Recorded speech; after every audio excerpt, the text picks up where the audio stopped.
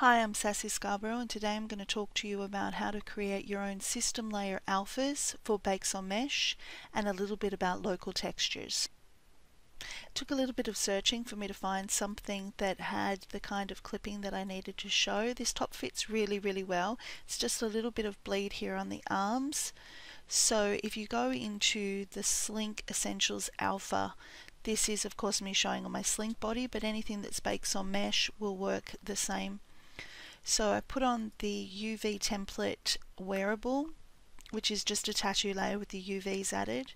And as you can see, it shows me where on the UV is exposed and what is actually hidden. So the green area and the green area is where I sort of need to keep within. So as you can see, you've got an upper here and you can save that to your hard drive, which I've done already. So let's move over to Photoshop.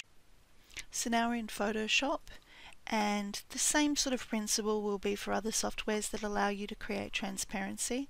I'm going to make a copy of the layer, Control J for Photoshop. I'm going to zoom in, Control plus, and I'm going to hold down my spacebar and drag the image so I have a better view of it. Go down one. So remember we were going to be within the green, within the green. Okay, so that's the outside of your arm and that's the internal of your arm. Those are your elbows there.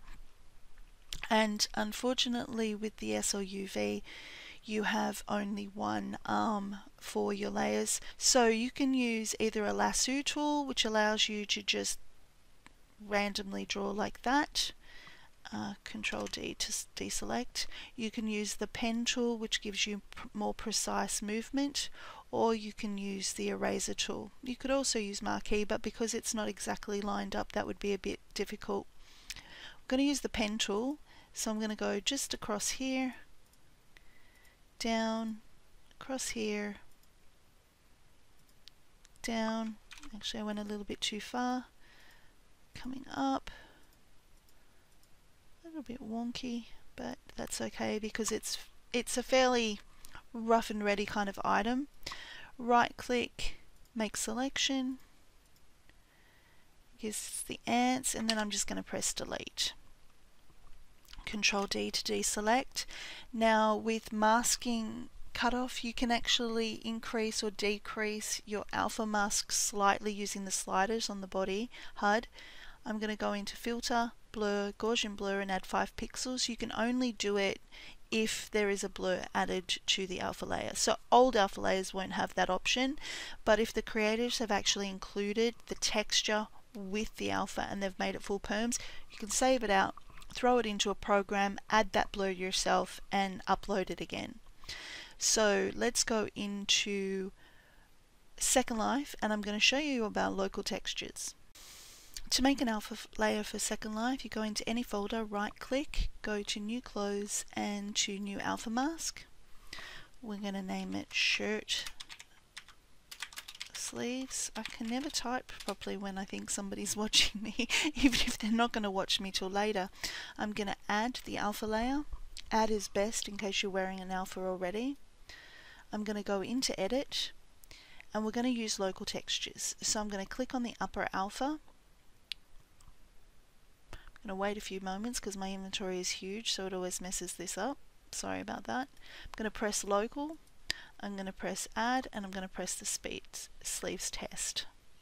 second one here. Press OK. And now this is only like the temporary textures in the past except you don't actually upload them even without a cost. So as you can see here everything looks exactly how I want it to. So now I can either proceed or do some fine tuning if I wanted to. First of all, I'm going to show you how the local textures work. So because you've done it as a local texture, you can actually add more to it.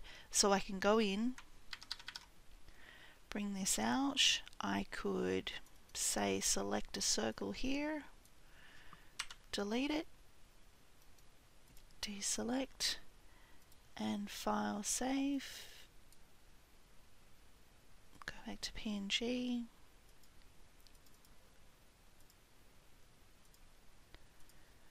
and see now I've got a circle. And all of this is saving as you want it. So any tweaking that you make so say you're uh, making eyeshadow or lipstick and it's a little bit too large for the mouth you can go in and you can tweak it and you can keep doing that as long as you keep the same name and the same link to it.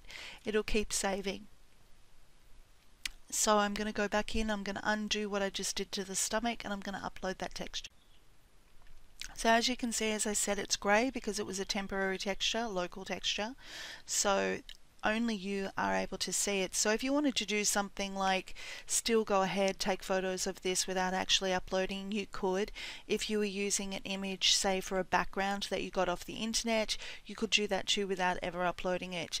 If you're building something like a house or a backdrop and you want to test how your textures are going to appear on the mesh in world, same thing, you can use local textures all the way. So we're going to upload this texture now that we've got it, sleeves test, upload.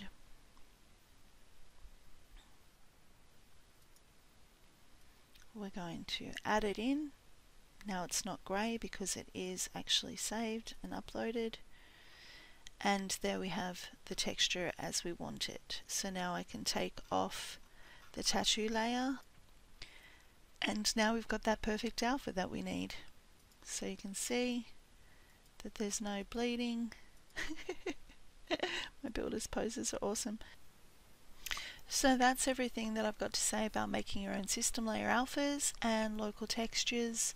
Maybe I'll go into local textures a bit more in the future, but whether you wait around for creators to start adding alphas or you go on a big alpha hunt on the grid, you can make your own and I hope this video was helpful. That's me, Sasy Scarborough, signing out for sasyscarborough.com and I hope to see you again.